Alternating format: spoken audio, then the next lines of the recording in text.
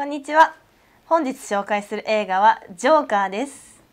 じゃじゃん。これです。もう皆さんご存知ですね。2019年公開で世界的にヒットしました、えー、日本でも興行収入50億円を稼いだというですね。まあ本当に久しぶりの大ヒット作だったですね、えー、世界的なああのやっぱ評価も高くて、例えばベネチア国際映画祭では金獅子賞を受賞してますそれからアカデミー賞ではですねホアキン・フェニックスが主演男優賞を、取ったと、まあ、作品賞はノミネートされただけで取れなかったんですけどまあ取ってもよかったんじゃないかと思うんですけどまあ、えー、作品賞はじゃあ他の作品に,、えー、に課さられてしまいました。その作品は誰だ何だったかというと「えー、パラサイト半地下の家族」だったんですね。あれがなければおそらくこの作品が、えー、撮ったんじゃないかなというふうに、まあ、勝手に推測してしまいます。えー、ストーリーはねあのもう皆さんもご存知だと思うんですけどえアーサーという痩せこけた青年がお母ちゃんと一緒に2人暮らしでまあなんかあまりこう綺麗じゃないあのマンションみたいなアパートみたいなとこに住んでます。えー、彼は有名な、まあ、お笑い芸人になりたいなとは思ってるんですけどなかなかうまくいかなくってピエロの格好をして、まあ、パントマイマーみたいなことでアルバイトをして、えー、食いつないでいます。である時同僚の、えランドルという男から、まあ、拳銃を、まあ、押し付けられるような形でもらうわけですね。でそれを持って、えあの病院の小児科病棟で、まあ、パントマイマーでこで子供たちの前でやってる時に銃を落としてしまったりして「お前はクビだ!」と言われてなんか意気消沈だんだんこのこの町に対するえー、憎しみみたいのがこううっせきしてきてそれで電車の中でビジネスエリート3人に絡まれてしまう殴られたり蹴られたりするそこで、えー、ランドルからもらったあ拳銃を取り出してバンバンバンとこう撃って撃ち殺してしまうわけで3人をね。でこの3人を撃ち殺したことによって彼はどうなるかというとなんとえー、要するに英雄になってしまうわけですねここでね。でヒーローになってしまう。えー、それはねこのゴッサムシティという、まあ、架空の、えーまあ、町なんこれはまあニューヨークをモデルにしてる町なんですけどね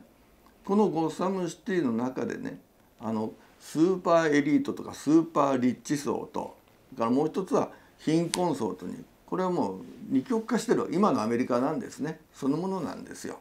でその貧困層にとってはねこの,、えー、あのアーサーという、まあ、人を殺した人間がなぜか英雄になってしまうヒーローになってしまうそういうような話なんです。で、えー、最後になんか、まあ、いろんなこうことがあって、えーまあ、結末に至るわけまああまり言うとあれなんですけど、まあ、そういうことです。それでですねあの先にちょっと一言あの説明しておきますと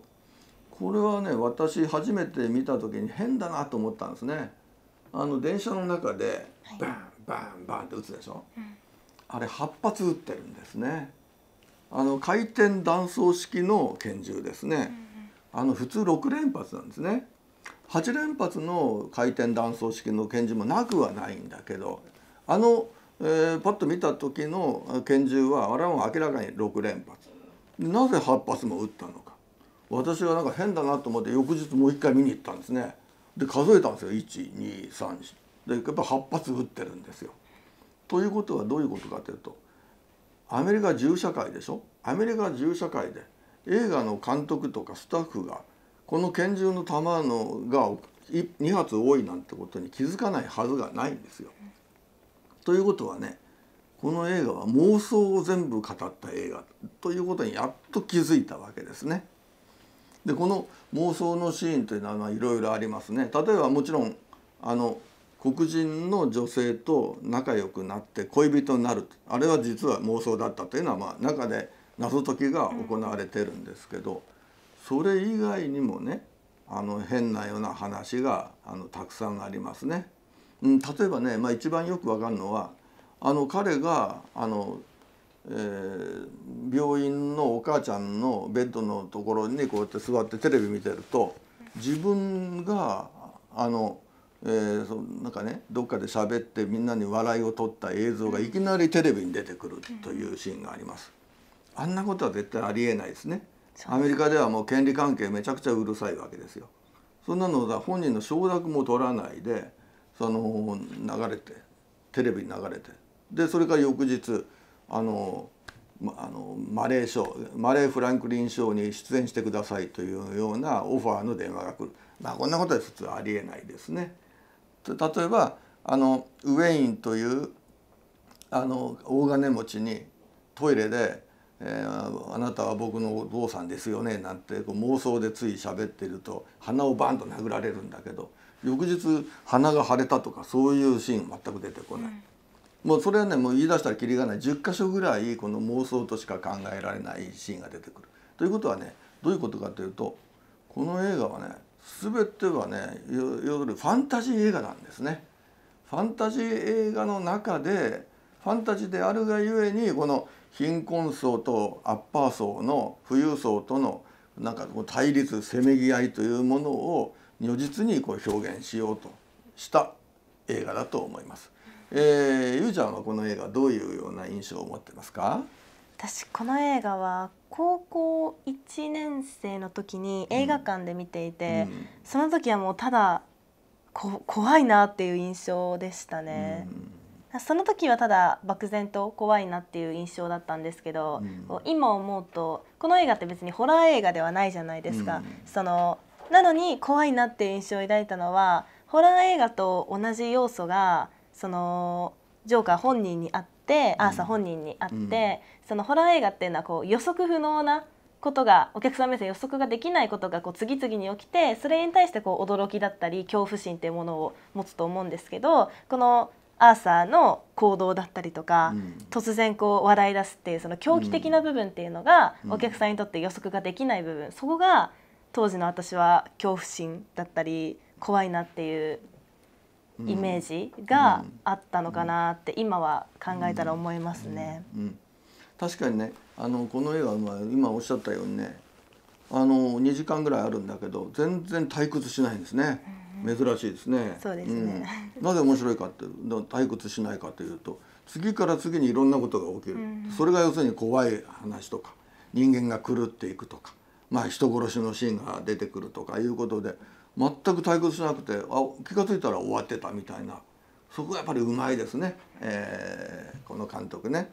で、えー、この映画を、まあ、あの今回、えーまあ、取り上げたのは以前紹介しましたタクシードライバーとの、えー、類似性。そうですね、うん、というようなことなんですね。タクシードライバー皆さん、えー、覚えてらっしゃるかと思いますけどタクシードライバーもの普通のなんか街を憎んでいる。にこの街はゴミだめだとニューヨークを憎んでいるタクシーの運転手さんがですよ、ね、たまたまあの悪いやつらを撃ってしまった。それもね正義感というよりもなんか自分のフラストレーションを晴らすために撃ち殺してしまったがゆえに英雄になってしまったということですよね。そうですねこれは同じことがこのジョーカーでも行われてるわけですね。うん、あのたまたま拳銃を持って撃った撃ち殺した3人を撃ち殺したらなんと英雄になってで町の人間がみんなあのピエロのお面をかぶるようになっていったというね。うんそういう人間というものが持っているこの曖昧さとか不確かさとか本当なんかいい加減さとかそうです、ね、えー、そういったものをこの中に描いてるわけですね。あのこの監督もですねあのす、まあ、いつもこの監督はまあすでに言ってるわけですけど影響を受けた作品がいくつかあってその一つがやはり、えー、タクシードライバーだったんですね。うんうん、あとはもう一つはあのキング・オブ・コメディという映画これにもあの影響を受けたと言ってます。このタクシードライバーもキングオブコメディもロバート・デ・ニーロが主演だったということでまあそういうかんあの共通性があるしそれから、えー、くしくもこの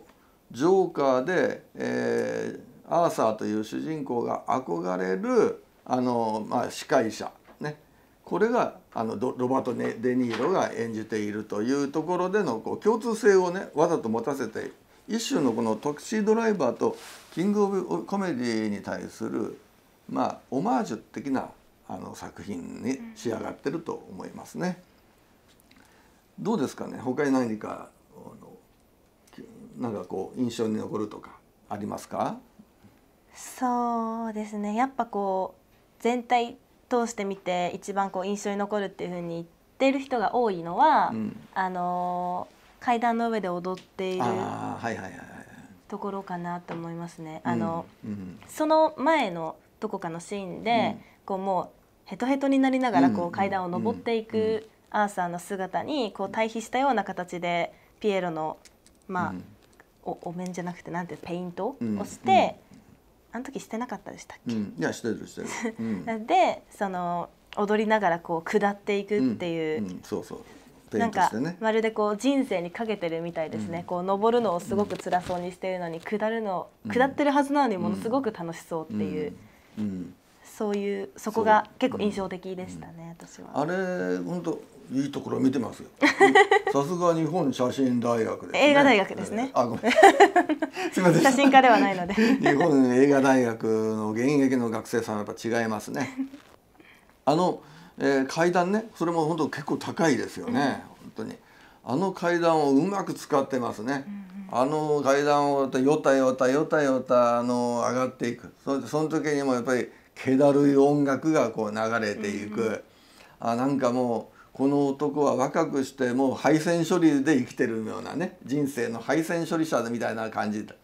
ところが人を殺してヒーローになって瞬間に今度はなんかいきなりウキウキして顔をピエロの格好にあのメイクしてであのあそこの石段の、まあ、階段の上でこう踊ると本当にこのあのコントラストがあのはっきりしててねあの面白いなと思います。だからまあそういう点でこのこの監督もね場所とかそれからその妄想であるとかちょっとしたあの小道具とかそういったもので我々をなんかあの楽しませようというようななんか小細工がうまいんですよ。だからあのあっという間にあの終わってしまう。であのもう一つはねこのアーサーという主人公は一体じゃあ何人殺した人間を殺したのかなというようなことをね。これ見ながらもう一回見ながらあの時とあの時とあの時何人殺したんだなというようなそこをあの考えてみるのも、まあ、ちょっと面白いかもしれませんね。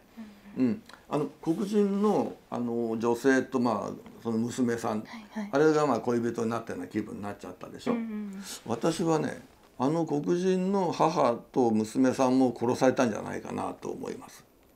うん、なるほど、うん。それから一番最後に出てくるあの黒人のあの心理カウンセラーみたいなね、まあ、逮捕された後に出てくる黒人の心理カウンセラー、うん、おそらく彼女も殺されたんだと思いますね。そしたら一体何人の人間をこのアーサーは殺したのかなという気がします、うん、うん、だからそういったものを見ながらですねなんか人間がやっぱり追い詰められてあの発狂しながら。しかしそれでもいつの間にかヒーローになってしまって民衆に向かっておおとこう手をねあの上げてアピールする。このなんか人間の社会のか恐ろしさっていうものをなんか感じるような気がしますね。どうですかね？はい。よろしいですね。そんなところでしょうか。じゃあまず締めの締めをお願いいたします。はい。えー、っとこの映画は先ほど森健さんもおっしゃってた通りタクシードライバーとの類似性も多々ありますのでぜひタクシードライバーと一緒にジョーカーもご覧になってください本日はありがとうございましたありがとうございました